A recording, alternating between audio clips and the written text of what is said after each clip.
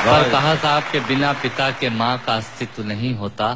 किसी ने शेर कहा कि पक्के फल पेड़ों से रिश्ता तोड़ जाते हैं और अपाहिज बाप हो जाए तो बेटे छोड़ जाते हैं।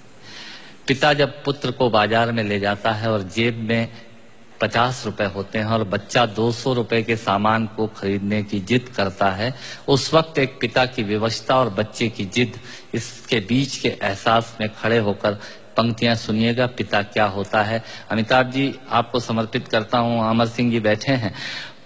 पिता पिता जीवन है, संबल है, शक्ति है, पिता सृष्टि के निर्माण की अभिव्यक्ति है, पिता अंगुली पकड़े बच्चे का सहारा है, पिता कभी कुछ खट्टा, कभी खारा है, पिता पिता पालन है, पोषण है, परिवार का अनुशासन है, पिता पिता धौस से चलने वाला प्रेम का प्रशासन है, पिता पिता रोटी है, कपड़ा है, मकान है, पिता पिता छोटे से परिंदे का बड़ा आसमान है। पिता छोटे से परिंदे का बड़ा आसमान है। पिता पिता अप्रदर्शित अनंत प्यार है। पिता है तो बच्चों को इंतज़ार है। पिता से ही बच्चों के ढेर सारे सपने हैं। पिता है तो बाज़ार के सब खिलौने अपने हैं। पिता है तो बाज़ार के सब खिलौने अपने हैं। पिता से परिवार में प्रतिपल राग है।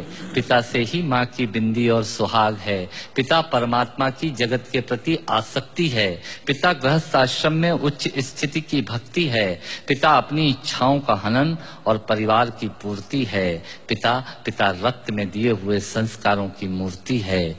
पिता पिता एक जीवन को जीवन का दान है। पिता पिता दुनिया दिखाने का एहसान है। पिता पिता सुरक्षा है। अगर सिर पर हाथ है, पिता नहीं तो बचपन अनाथ है। पिता नहीं तो बचपन अनाथ है।